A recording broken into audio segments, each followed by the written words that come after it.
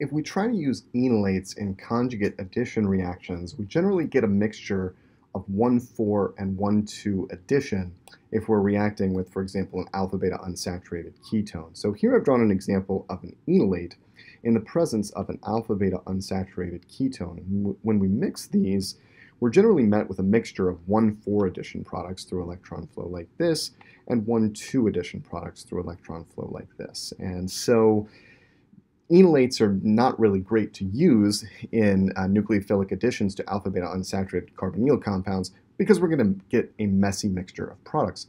In this video, we're going to see how we can use enamines to circumvent this problem. The lower reactivity and generally greater softness, quote unquote, of the enamine nucleophile means that it adds selectively at the beta carbon of alpha-beta unsaturated carbonyl compounds.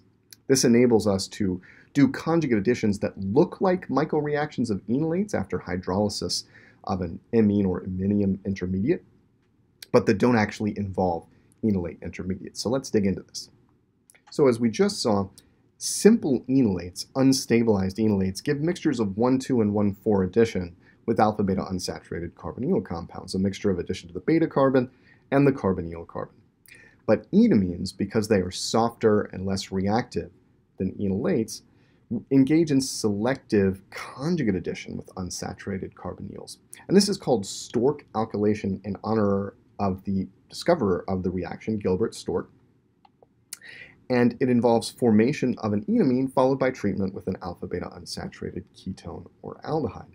So the basic idea of, of the reaction is we start with a ketone that we want to act as our nucleophile. And our goal here is to alkylate, install an alkyl group through a conjugate addition process at the beta carbon of an electrophile. So this is our nucleophile, and we start by forming an enamine of that by condensing it with some secondary amine. Here it's pyrrolidine, which is very commonly used for this purpose. So a molecule of water is lost. This is just enamine formation, which we've seen before. And then we treat with the alpha-beta unsaturated ketone. And because of the softness and low reactivity of the enamine, it adds selectively to the beta carbon through electron flow that looks like this. Analogous to conjugate addition type of electron flow that we've seen previously. So we get on one end, on kind of the left half of the molecule, we get an iminium ion, and on the right half, we get an enolate. And protonation of this enolate ultimately leads to a neutral compound after hydrolysis of the iminium ion as well. So pyrrolidine is lost here. Water adds in, to this iminium carbon, and after proton transfers and elimination of the pyrrolidine, we end up with a carbonyl group here. It's a good opportunity to pause if you need to and think through the mechanism of hydrolysis of this iminium. And the enolate just becomes a neutral ketone through proton transfer to the alpha carbon right? And so notice this product is a 1,5-dicarbonyl. It looks like it came from addition of an enolate right here to an alpha-beta unsaturated ketone. We did this indirectly using the enamine nucleophile as a kind of enolate surrogate or enolate stand-in, right, that avoids 1,2 addition because of the softness of the enamine. So this is Stork alkylation, and it's a great way to alkylate alpha to a carbonyl group. This is a method we can use, for example, in lieu of the acetoacetic ester synthesis or something along those lines to create a carbon-carbon bond at the alpha carbon of a carbonyl compound. We can also acylate enamines at the alpha carbon. And recall that we've done this previously using Claisen type condensation, using an ester as the electrophile, for example, in the presence of a ketone or ester enolate. Enamines are less reactive than enolates, and for this reason, they actually can be used in conjunction with acyl chlorides without acylation of the nitrogen atom or without acylation at nitrogen that is actually problematic. Um, these give high yields of the alpha carbon acylated product, in contrast to ester enolates and ketone enolates, where we saw enol esters generally form. So this is kind of nice. Stork acylation allows us to use acyl chlorides, highly reactive, in conjunction with enamine nucleophiles to give products that look like they came from a Claisen, but involved an enamine intermediate. So we start with the ketone that we want to acylate. Aldehydes can also be used. We condense with a secondary amine, such as pyrrolidine in uh, acid, acetic acid. This generates an enamine intermediate, and then we treat that enamine solution, enamine containing solution, with the acyl chloride.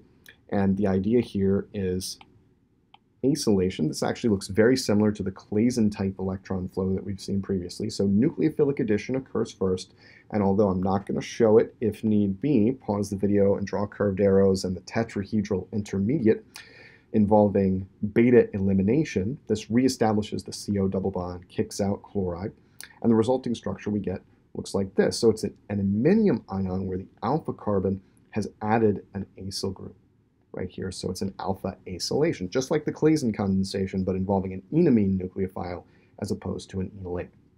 And after hydrolysis of this intermediate iminium ion, we end up with a carbonyl group where the iminium was. And so we end up with a 1,3-dicarbonyl compound, classic product of a Claisen type condensation. So this provides an alternative to the Claisen condensation and actually avoids some of the limitations that we've previously seen. For example, this has the potential to work great at a substituted um, ketone where we have only one alpha hydrogen. We can still form an enamine that can still react with the acyl chloride and we can still get to a 1,3-dicarbonyl compound, for example, with additional substituents at the alpha carbon. One idea that these two reactions give us is what if we try to hit an enamine with an alkyl halide? Notice that's sort of conspicuously missing from these two reactions. We've used an acyl chloride and an alpha beta unsaturated ketone, two now familiar electrophiles to us, but probably the first electrophile you ever saw was an alkyl halide. What happens if we hit an enamine with an alkyl halide? Well, neutral enamines are actually problematic with simple alkyl halides like methyl benzyl bromide because of alkylation of the nitrogen atom. That can create problems. However, if we deprotonate the enamine, we have an enamine that has an NH and we deprotonate it, the enamine anion that results can be cleanly alkylated with alkyl halides at the alpha position. And that's this third Stork enamine reaction we'll look at, at through what's called a metalloenamine. And a, a, nice way to think about really the best way to think about it, is it involves condensation to form an imine intermediate with alpha hydrogens, and a strong base is used to remove one of those alpha protons creating something that looks like an enolate, but with an N minus replacing the O minus of an enolate. So for example here, we're starting with propanal, an aldehyde, and condensing it with tert-butylamine using acetic acid as our acid catalyst here. This creates an imine, and upon treatment with ethyl Grignard, now this Typically, we're used to this as a nucleophile. It can also be used as a base, and it turns out to be a fantastic base in this context to deprotonate at the alpha position. Once it does that, we end up with a reactive intermediate that again looks a lot like an enolate. It's just we have an NR minus group here instead of an O minus like we'd have in an enolate, right? And this is still profoundly nucleophilic at that alpha carbon. In fact, more nucleophilic than an enolate, right? This is even more reactive than an enolate. And so now if we treat with an alkyl halide, and here we'll want it to be primary or methyl, right, to avoid elimination issues on the alkyl halide side, we can get something that resembles an SN2 reaction with the nucleophilic alpha carbon displacing bromide, and we've made a new carbon-carbon bond. So this is an alkylation reaction with a simple alkyl halide with the nucleophile being what's called a metalloenamine. Metallo because the magnesium cation is kind of following around that negatively charged nitrogen in this reaction. And we can imagine that if the imine is not really our goal, if we want to get back to a CO double bond, well, that's just hydrolysis, right? We can use acid, water, hydrolysis conditions, and we'll kick off that tert-butylamine and get back to the carbonyl compound Notice that this looks like it came from an alkylation of an enolate, right, where the new carbon-carbon bond was formed right there, and it sort of did, it just used the nitrogen analog, used the enamine anion as opposed to an enolate. So these reactions of metalloenamines are a great way to establish carbon-carbon bonds using simple alkyl halide electrophiles.